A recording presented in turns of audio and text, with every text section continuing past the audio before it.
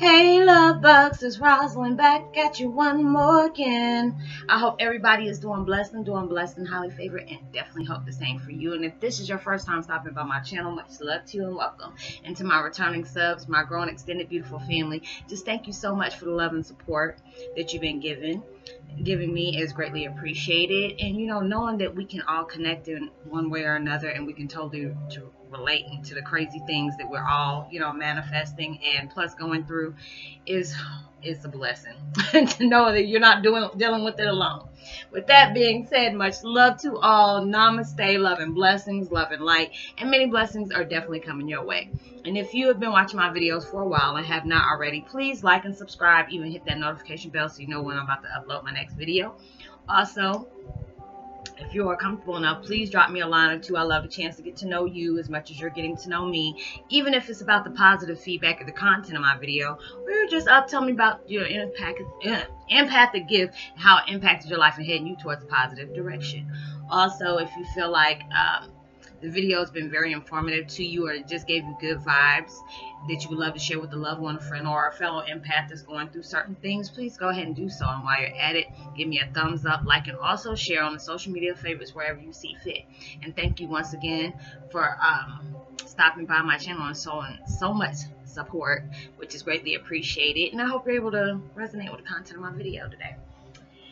Um, and the meditation music I'm listening to is called Awaken Your Inner Genius, Activating Higher Self Meditation. I will post, oh, and spiritual healing, uh, spiritual awakening and healing music, and I'll post that link in the description box below. And today my video is about Twin Flame 101. Heyoka's receiving enlightenment on the um, on an emotional level. I mean, we can get enlightened all the time, and it's just like I really feel like um, for the last few days, I can just really look at things in a totally different perspective. You know how when we go through some really tough stuff, we can get upset. We're asking God, universe, why we got to go through this. This is just so messed up. This is not fair. And it's just like when you can finally look at things, step back when you're out of your emotions, when you're out of your feelings, and step back and say, you know what? I see why I had to go down this rough road because it is just like when you know what you're benefiting from this hard time that you had to go through, the love you have lost, you know, the people you have separated yourself from, going down the rock bottom, just, you know, just really going through some straight hell for you to be coming out and not even smelling like, you know, fire, smoke, sulfur, whatever. Because we don't have our last, you know, four or five trips up to, you know, to hell and don't even come out smelling like that. That's the beautiful blessing out of everything that's the upside to it. You know because there's times i've you know i've asked universe why did i have to go through this? It's just so hard. You know i lost my family. You know not really getting to know my family. I feel like an outsider this and this and that. And it's like I was able to, you know, have my family. Even, you know, I consider y'all my family. Even we're not blood, I feel like we're connected through souls um, being able to meet a lot of people virtually, you know, all over the world to be able to connect and be able to help people.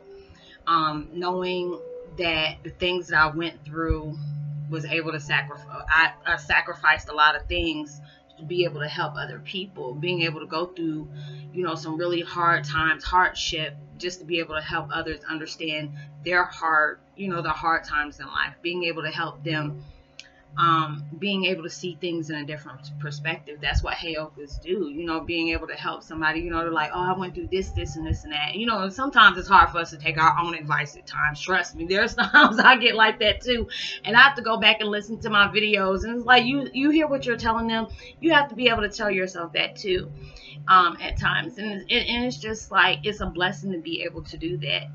And you know, there's days when I sit up here and I get that confirmation. There's times I've, I've said it, you know, I, you know, wondering, questioning the things that I do. Am I doing the right thing? Am I, am I doing enough for people? Can I do more? Um, am I on the right track? And it's just like I constantly get those confirmations all the time, the validations from the comments y'all leave me, from the blessings you're sending me right back those are the things that I live for. Those are the things that I feel very blessed for. I, have gotten enlightenment in so many different ways and be able to say my hardship was a blessing more than it was a real hardship because it had me looking at myself in a totally different light. Being able to look at myself in the mirror and saying, I'm proud of who the person I became. I'm glad I molded myself this way. You know, I'm glad God has put me in a certain, you know, tragic, tragic situation to form me back and mold me and form me into a beautiful person that I never thought I could ever be. You know, being able to see myself in so many different ways is in, you know, my family always tried to make me seem like I was a loser or, you know, I was spoiled or anything like that that was not in a good light. And when I finally see, you know, the real me, not from what they painted me off to be, um, was a beautiful person. You know, it's just like it's sad, you know, when when you know I used to remember my family just constantly, you know, even before people would meet me, they would say hi to me, and all of a sudden they go over there and they start talking to my family, and all of a sudden I start getting these little dirty looks, and you know all this and that, and I'm just wondering what did these, what did he, what did they say about me? But it's just like when you know your light shines so bright, you know, people try to, you know, emulate, you know, whenever you emulate something very special, they'll try to, you know, they can't handle what's right about you. They will throw out whatever is wrong about you for people to look at you a certain way. And then when I can finally see me for who I am and not worry about what my family put on me, was a true blessing to be able to say, you know what, I'm not nothing that they painted me out to be. You know, in somebody's story, you're always going to be a villain towards something. But you know, when you're a black, you know, if you're the black sheep of the family, most of the time, the black sheep of the family is always telling the truth. You know, so being able to do all those things and see myself in the light that I am, you know, I painted myself out to be. I don't care what other people think of me, is how I see myself you know i can have that confidence in myself see the strength within within me that i have. Being able to open up and tell people and don't worry about what other people think but knowing my story can help somebody. My experience that i went through can help somebody else heal and grow from there you never know like i tell y'all all the time you never know what your story your life story can do to help somebody else break out of that prison that they had of a life of hardship out of the dark place that they feel like they can't get themselves from. It's like when we're stuck in a certain place, it unless you are physically in jail, you know, being in a certain situation is like your your your negative thoughts, your your process is, is just how you you're not having that faith within yourself that I'm going to get out of this situation. It might be somewhere you don't want to be right now, but if you know you're working hard and doing the things you can do to get yourself out of certain situations, it will happen. You know, and it's always going to be when you least expect it. You know, and I, I said I'm not where I want to be right now, but I know I'm working hard and doing my part. You know, I can't work, you know, universe is already doing things, you know, for me that I don't know about. You know, I just keep faith that, you know, nobody can sit up here and put something on me, you know, that God is not going to have open doors for me. You know, doors are going to open that no man can't shut anyway for you. And you have to believe that within yourself. And I, I, I firmly believe that, you know, and it always took me Mom always used to tell me, you know, Roslynn, you need to have faith and stuff. Stop saying that these things won't happen for you. You know, you're contradicting yourself. My mom was right for that. So it's just like looking at the things that I'm going through now. There's times I sit here and cry and I say thank you. I see why I had to go to do the things that I had to go through because it brought me so much strength. It made me so much wiser than I ever thought I could be.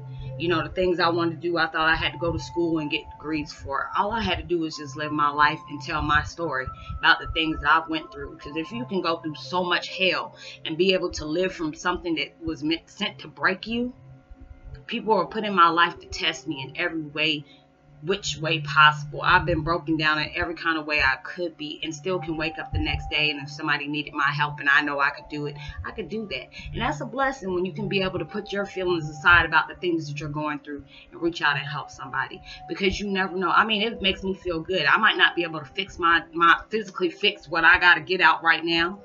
I could if I could, I would have been gone. But then it, it's just like when you when you wish that you never gone through all the things, you should never look at your mistakes or your setbacks and say, oh, I wish I never went through that. Because if you didn't, you wouldn't be able to know the true person you are today. You wouldn't be able to see what you are capable of. Um, being able to see how far your faith and how far your strength would pass about any measures. You know being able to do that is a true blessing. So take that enlightenment take that that situation that you're in and see all the strength that has brought you. Even though you there might have been many a days you don't cried and asked god please take me out of this situation. But you have a reason for going through the things you're going through. It has tested your faith on many levels. It has tested your strength on many levels you know, um, your patience on many levels, but it, you learn things about yourself that you never thought you would learn. Is bringing up things that you never thought you could heal from, and you're letting go of things that you, you thought you were going to have to hold on to forever.